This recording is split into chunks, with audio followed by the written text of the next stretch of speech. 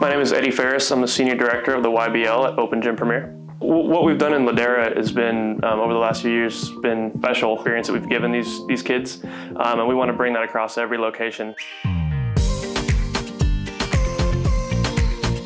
Primary mission of the YBL is to ultimately give these kids an unparalleled experience with us, but to also use it as a launch pad to their basketball careers, um, develop fundamentals, have fun, and just really love the game of basketball. That's that that's really the ultimate mission. The YBL is different than all these other basketball leagues in the experience that we give these kids um, and allowing them to play in all of our other brands, um, giving them the opportunity to play in our club teams, you know, go through our camps, play in our tournaments.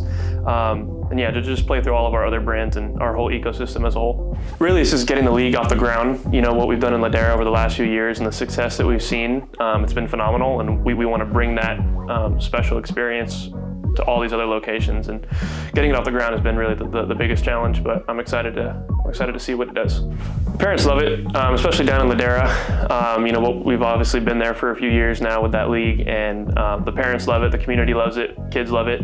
Um, they know, you know, every season Ladera YBL is the place to be. Friday night lights, um, especially in the winter. Winter goes nuts down there, um, and uh, yeah, just the community loves it.